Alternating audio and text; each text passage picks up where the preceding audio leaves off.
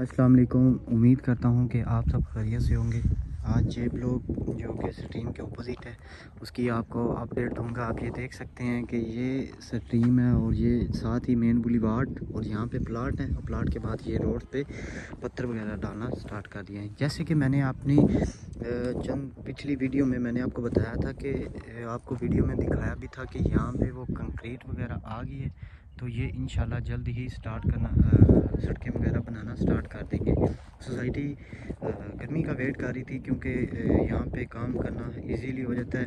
तो इस वजह से आप देख सकते हैं कि ये रोड्स पे पत्थर वगैरह डाल दिया गया है। इसी तरह जो जे ब्लॉक के नियर टू गेट प्लाट हैं और ओवरसीज़ के प्लाट हैं, वहाँ पे भी पत्थर वगैरह डालना स्टार्ट कर दिया और सोसाइटी सड़कें बनाना स्टार्ट कर दी हैं।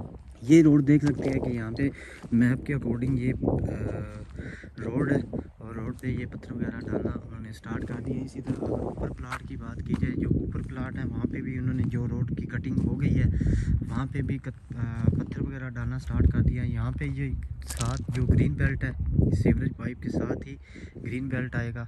तो ये भी काफ़ी अच्छी इंशाल्लाह अब देखेंगे कि नेक्स्ट कुछ दिन तक ये पत ग्रीन बेल्ट और इसके साथ जो सीवरेज पाइप वगैरह है, वो भी पाइप पाइपलाइन डालना स्टार्ट कर देंगे। जे ब्लॉक के जो गेट के पास प्लाट है, वहाँ पे सीवरेज पाइप वगैरह आ गए लेकिन अभी नहीं आए। जैसे ही वो आएँगे तो मैं इंशाल्लाह उसकी भी आपको अपडेट दूँगा। इसके अलावा आप ये देख सकते हैं, ये मेन बुलीवार्ड जो कि सोसाइटी ने बताया था, जिस मैप के अकॉर्डिंग जो भी सोसाइटी ने जो मैप दिया था, वही मैप है। और यहाँ पे रोड था रोड वही बन रहे हैं। इसी तरह मैं अगर आपको ऊपर लेकर जाऊँ, वो भी आपको अपडेट देता हूँ। उसकी भी डेवलपिंग दिखा देता हूँ कि कितनी हो गई है और कितनी रह गई है। इसी तरह आप ये देख सकते हैं, एक रोड इसके स्ट्रीम के मेन बुलीवार्ड है। उसके साथ दो जो रोड ऊपर जा रहे हैं, ये वही दो रोड है। वो भी, उसकी भी मैं आपको डिटेल आगे दिखा देता हूँ।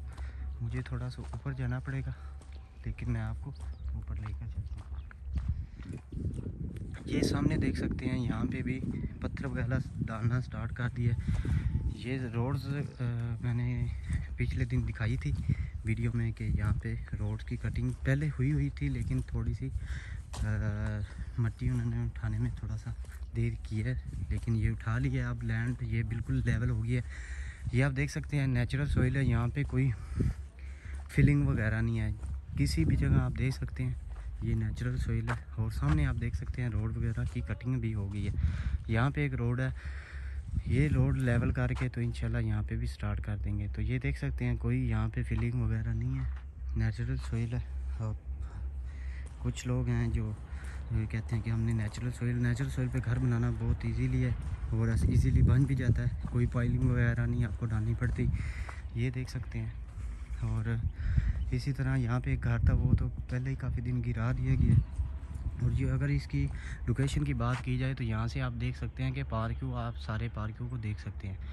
तो अगर आपने प्लाट लेना चाह रहे हैं या सेल या परचेज़ करना चाह रहे हैं, आपको पार्क्यू के रिलेटेड कोई भी हेल्प चाहिए हो तो आप हमसे ज़रूर कॉन्टैक्ट कर सकते हैं। इसके अलावा हमने ओवरसीज ग्रुप बनाया है।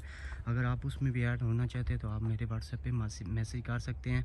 और इसके अलावा इसका ग्रुप का लिंक मैं डिस्क्रिप्शन में डाल दूँगा। आप वहाँ से भी हमें ज्वाइन कर सकते हैं। इन इसी तरह मैं वीडियो बनाता रहूँगा। आप अगर आपने मेरा चैनल सब्सक्राइब नहीं किया तो चैनल सब्सक्राइब कर लें। इन नेक्स्ट वीडियो में मुलाकात होगी। तब तक इजाज़त दीजिएगा। अल्लाह हाफिज़।